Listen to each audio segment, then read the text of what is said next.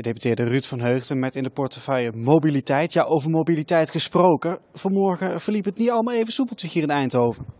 Zeg maar gerust, het was vanmorgen dramatisch. Eh, de bereikbaarheid van Eindhoven en de regio was echt compleet uh, zoek. Ja. Nou was de ruit van Eindhoven, de ruit om Eindhoven, die is zo'n beetje van tafel geveegd, ook in Den Haag. Maar een beter pleidooi dan wat er vanmorgen gebeurd is, ja, is er volgens mij niet. Ja, alles wat we op papier hebben laten weten hoe ernstig het kan zijn en hoe belangrijk het is dat je een alternatieve route hebt voor die snelwegen.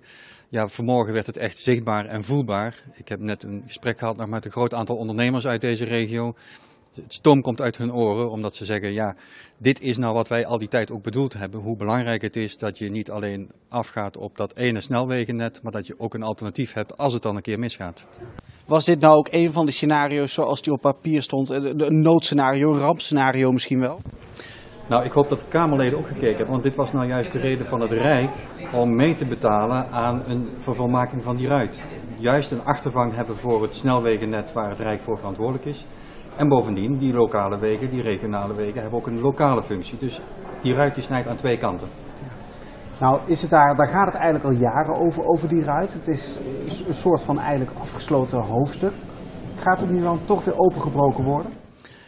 Wat we zien is dat de problemen dus niet weg zijn. De oplossing ligt nog op tafel. De vraag is alleen of dat deze oplossing op dit moment nu doorgezet kan worden, gelet op de financiële positie van de Rijksbijdrage.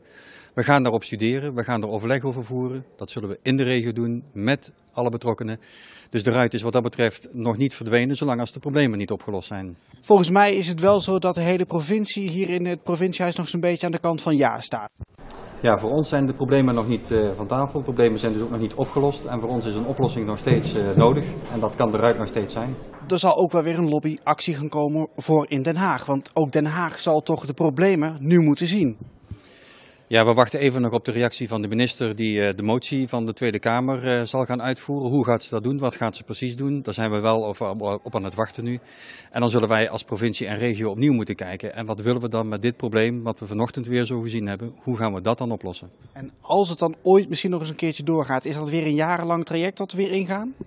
Ik hoop het niet, want ik vind dat de Brainport-regio, Eindhoven, Brabant, wij kunnen ons dit niet permitteren dat we straks te boek gaan staan als slecht bereikbaar, veel files. Je komt er niet meer doorheen, bedrijfsleven, onbetrouwbare reistijden, kunnen we ons niet permitteren.